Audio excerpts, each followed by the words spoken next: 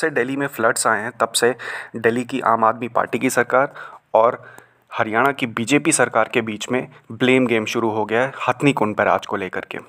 हथनी कुंड barrage. लेकिन barrage और dam में डिफरेंस क्या होता है? डैम। डैम जो कि रिजर्वायर के तौर पे बनाया जाता है, डैम को वाटर स्टोरेज के लिए बनाया जाता है। डैम के पीछे जितना पानी रुका होता है, उसे रिजर्वायर कहते हैं। और डैम को डैम में जो पानी फ्लो होता है, उसको कंट्रोल्ड फ्लो के थ्रू स्पिलवे के थ्रू रिलीज़ किया जाता है धीरे धीरे वहीं पे बैराज का देखा जाए तो बैराज जो होता है, वो डाइवर्ट करने के लिए, वाटर मैनेजमेंट के लिए बनाया जाता है, जो कि फ्लड के टाइम बहुत यूज़ होता है। और बैराज में एडजस्टेबल गेट्स होते हैं, उन गेट्स के थ्रू वाटर को एडजस्ट किया जा सकता है, उसके फ़्लो को कंट्रोल किया जा सकता है।